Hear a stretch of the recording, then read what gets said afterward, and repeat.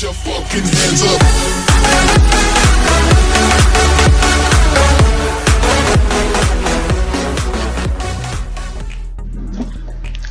What's going on, guys? Welcome back to another college football season predictions. We'll determine how well each team will do in the upcoming season. Now, in this episode, we are going to be talking about the Georgia Tech Yellow Jackets. Uh, last season though, they didn't really do very well. They did not look good. Think went three and nine last season. I mean, they but they didn't get last place in their division. Just getting a head uh, tiebreaker over Duke, beating them head to head. So this is going to be very interesting. I think this is probably going to be. I would probably say this could be another disappointing year once again. But we go back to talk about last season though. Their offense was 95th in scoring, 57th in rushing, 97th in passing. Their offense wasn't good, defense wasn't better either. They were tied with 110th in scoring, rushing 100th, and the passing was 121st. I mean, it just they, they it just wasn't that good, um, to say the least. So I just think though, this is going to be another, uh, you know, probably going to be another rebuild season. I think this is not going to be the year, you know, they're going to make it into their um, into their conference championship game. But I will say though, they can make some games really close. Now the game I will talk about though was against Clemson. I think, and also when I was speaking about that, it's gonna be one of those key games you have to look at too. It's just not only though how close that game's gonna be, it's determined really how good Clemson is gonna be. You know, and we did talk about Clemson a bit though. I will put it in the description. You guys have not watched that already, so that's what I'm talking about.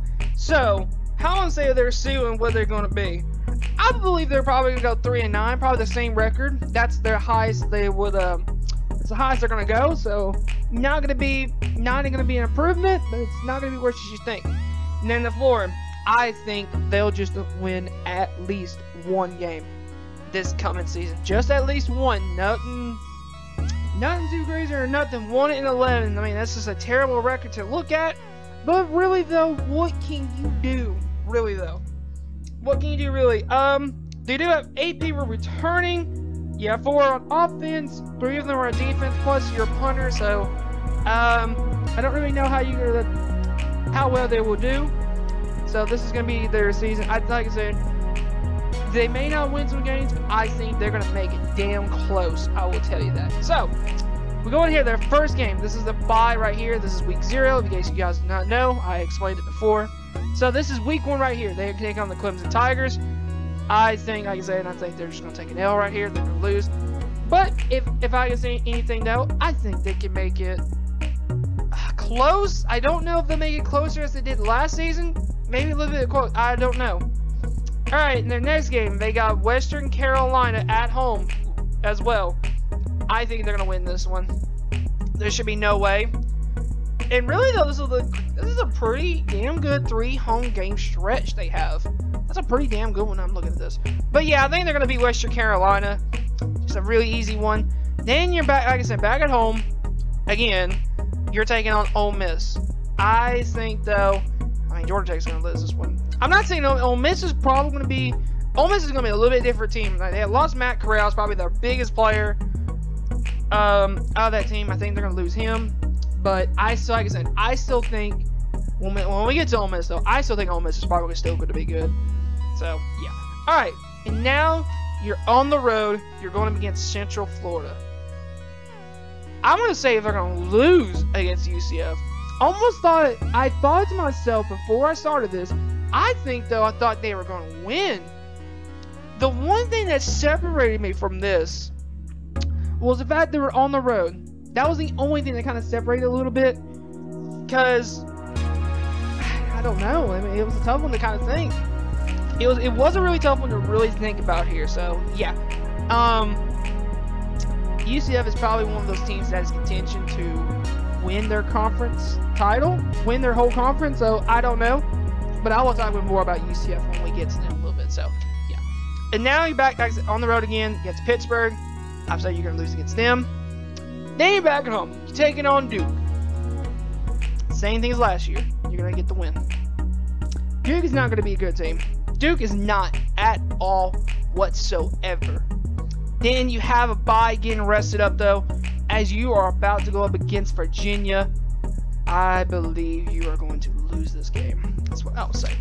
Then I'm going to go, like I said, on the road. You got a two road game stretch here. You're going to lose against Florida State. I am also going to say you're probably going to lose against Virginia Tech. Back at home, taking on Miami. I'm saying you're going to lose this one as well, too. Not even going to Not even going to think about it. And now, on the road against North Carolina. You know what, though? I'm going to say they're going to win this one. I, I am going to say they're going to win this one here. Give a little hope here. They don't. They're they're not going to get a bowl game whatsoever. I mean, they lost. They don't. They're not going to get a bowl game already. All right, let's just say that they lost that already. But I believe though they're going to kind of surprise North Carolina a bit here. I mean, they North Carolina thinks, oh, we're going to come in here, we're going to beat Georgia Tech, going to be going to feel very confident in us um, winning it. So, yeah, let's look at it. And then your final games on the road against Georgia. Let's be real here. That's not. I do not see Georgia Tech winning this game. It's not happening. The only way that I see Georgia Tech winning this against Georgia if Georgia has has all their starters out, like injury and all this stuff. There's no way they're gonna have their starters rested or nothing. I mean, I highly doubt that too. So yeah, man. I mean, we got you got three and nine. I do say though, you're not gonna come last in your division because the head-to-head win over Duke. So I think though that would be a very oh I don't know I don't know man Georgia Tech may not have it in them but it's a really it was a kind of a it's not really like a stat conference a bit here but their schedule is like very interesting. You got, you got um three tough non-conference teams to look at here. Three tough ones: Ole Miss, Georgia, and UCF. They're gonna be some tough ones to face. Don't really want to sleep on Central Florida, but if I do have to change the game, though, I mean, it's probably to be harder than the ceiling. I did predict them at, though. I may change it. But I'm not to change anything on here. This is what I'm to stick with. But if I did, though, I'd probably say they'll be Virginia. That's just one I just see. But, yeah, but not really over that. Eh, I think I'll feel confident about this one. But anyway, guys, I want to say thank you guys for watching. Let me know down in the comments below what y'all think, what Georgia Tech's record going to be. So, I want to hear your thoughts about it. But anyway, I want to say thank you guys for watching. See you guys in my next video. Peace.